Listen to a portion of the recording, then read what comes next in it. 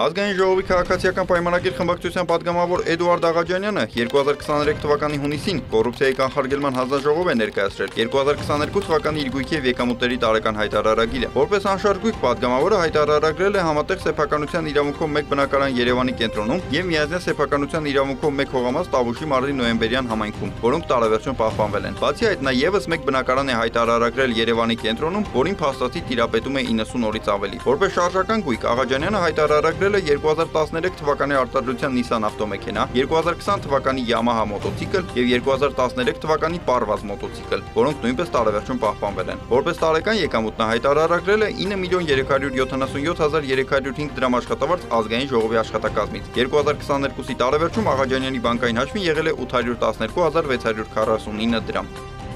Պատգամավորի հետ համատեղ բնակվող Վիկտորիա Այդինյանը որպես անշարժույթ հայտարարագրել է մեկ բնակարան Երևանի կենտրոնում, որին փաստացի տիրապետում է 90 օրից ավելի։ Որպես տարեկան եկամուտ նա հայտարարագրել է 3 միլիոն 493213 դրամ աշխատավարձ աշխատանքի եւ սոցիալական հարցերի նախարարությունից եւ 3 միլիոն 245160 դրամ աշխատավարձ օրենսդրության զարգացման կենտրոն հիմնադրամից։ 2022-ի տարեվերջում Այդինյանի բանկային հաշվին եղել է 626000 դրամ, իսկ անխիկ միջոցները կազմել է 200000 դրամ։